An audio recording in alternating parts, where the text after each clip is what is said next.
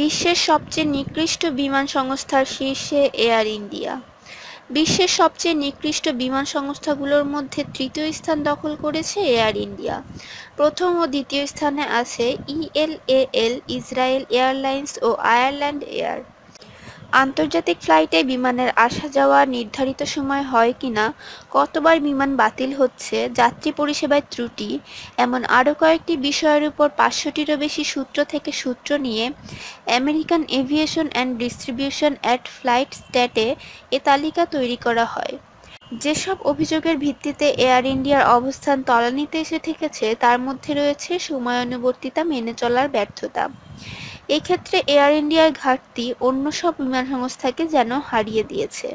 এছাড়া যাত্রীদের সেবার নিম্নমান, মালামাল হারিয়ে যাওয়া, অব্যবস্থাপনা ইত্যাদি কারণেও যাত্রীদের ভুগতে হয়। এয়ার ইন্ডিয়ার ঋণের পরিমাণ ছেচল্লিশ হাজার পাঁচশো সত্তর কোটি রুপি।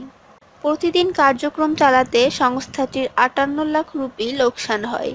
ভারতের ভিভিআইপির কাছে এয়ার ইন্ডিয়ার পাওনা সাতশো পঞ্চাশ কোটি রুপি। জরিফের ফলাফল অবশ্য প্রত্যাখ্যান করেছে এয়ার ইন্ডিয়া। তারা জানিয়েছে, এ প্রতিবেদন সম্পূর্ণ সত্য নয়।